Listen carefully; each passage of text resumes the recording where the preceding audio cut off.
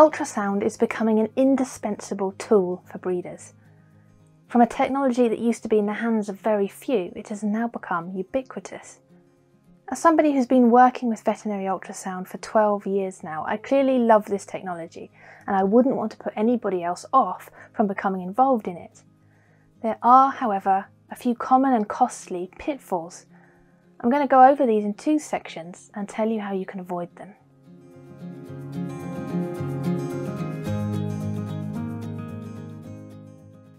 If you buy from an online marketplace, you probably know what you're going to get.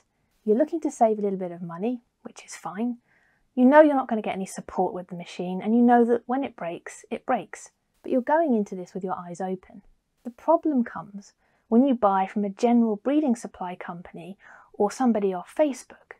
Most general breeding supply companies will select an ultrasound machine based on how cool and flashy it looks on their website and how much money they can make in selling it. The overnight ultrasound experts on Facebook have a similar approach in that they're looking to make money.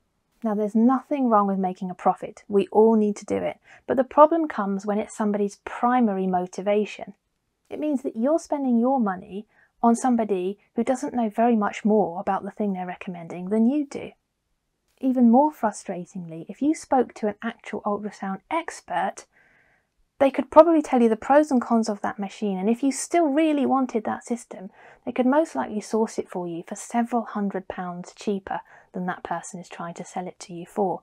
That means you really are paying a premium for absolutely nothing. So, what can you do about it? Well, if somebody is recommending you buy an ultrasound machine, find out about who they are. And I mean more than the fact that they just run a Facebook group. How many years have they spent in ultrasound? Do they have any formal qualifications in the subject? How likely is it that they alone have found a make or model of ultrasound machine that has escaped the notice of the experts in the field? Because usually, if the most reputable companies in the industry are not stocking a product, there's a good reason why not.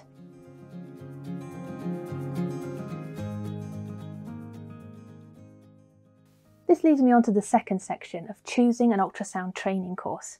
Now, dog breeders in particular are going to understand this better than anybody because everybody's now an expert, right? Gone are the days of being mentored by a true veteran in the field and maybe even passing that knowledge on to a select few yourself based on how devoted they are to your breed. Now it's just all about going on a day course and getting a certificate to stick on the wall. When it comes to ultrasound, who do you think you should learn from? Because I'm a sonographer, I'm sure you think I will say you must be taught by a sonographer. But I'll tell you a secret I wasn't always one. When I first started teaching this, I didn't have any qualifications in the subject at all. I was self taught. But equally, I didn't have the audacity to try and teach breeders ultrasound on my own without the support of experts. I taught with the help of engineers and later obstetric sonographers. Several years later, Inspired by my clients, many of whom were dog and goat breeders, I went on to do my master's degree in medical ultrasound. And I did that for them, for you, so that for the rest of my working life I can support people well. And I don't just teach courses and sell machines, I'm also heavily involved in ultrasound research to make sure that I'm always up to date with the latest in what is a very fast evolving technology even though I have devoted my entire career to ultrasound, I still recognise the limitations of my own knowledge and abilities. I don't, for example, teach a level 2 ultrasound course that is the exclusive domain of an obstetric specialist sonographer. Now, I hope you can see that none of this is to say that only a sonographer can teach ultrasound. There are people I taught five or ten years ago who are so very experienced in ultrasound now, they would make fantastic mentors. But I bet you that very few, if any of them, are out there running ultrasound training courses. The people and companies who are popping up now offering ultrasound training courses tend not to have anything close to this level of experience. So when choosing an ultrasound course, look beyond the flashy marketing or the gimmicky CPD badges and find out who it really is who's teaching that course. How long have they been involved with ultrasound specifically and exclusively? If they're teaching ultrasound as part of a general course, and you know it's just to get you started in those first few weeks, fine. But if they're teaching a dedicated ultrasound course, you should expect them to have many years of proven experience in that field and be there to support you as your skills progress. To summarise, if somebody is recommending an ultrasound machine on Facebook, don't just take their word for it, even if you do like the look of it. Speak to an expert, find out their opinion on it, and at the very least, find out what it really is worth. Don't pay over the odds for an entry level ultrasound system. Know that price and quality are not always strongly correlated. If you're spending anything over £2,000 or $2,000, you really should get a second opinion and speak to someone that you know has expertise in the field.